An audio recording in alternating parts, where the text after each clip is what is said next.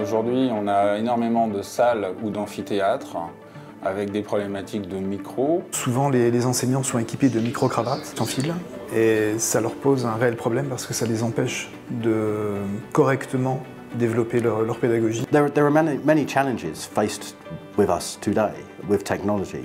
Um, we are a technology-driven company. But obviously what we have to do is adapt our technology to meet the customer needs and demands. Ce microphone pourrait être intéressant sur plusieurs points parce qu'il permettrait de se libérer de cette gestion de parc qui est lourde et coûteuse puisqu'il faut également prévoir un certain nombre de techniciens euh, pour s'occuper de cette gestion de parc. C'est parfois assez difficile d'avoir à la fois une bonne qualité et une bonne prise de son. Our university is gradually moving towards a active collaborative learning environment. um, which means we've got learning spaces that aren't traditional tiered lecture theatres, so they're wide, flat, and I think the beam-forming microphone would be really useful to support academics in an environment where they are moving around the room, not fixed at a set lectern.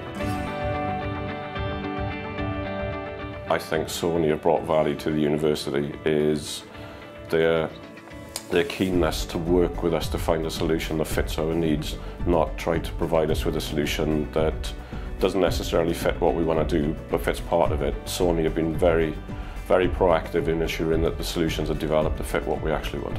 Ce qui m'a impressionné par rapport à cette solution, c'est le fait euh, de voir un si petit système avec une grande qualité de restitution qui prenne en compte le Larsen, c'est-à-dire qu'on puisse mettre des micros que ce soit au plafond, sur le plancher, et d'avoir des enceintes derrière qui puissent restituer ce que va dire l'enseignant sans qu'il y ait d'effet de larcène.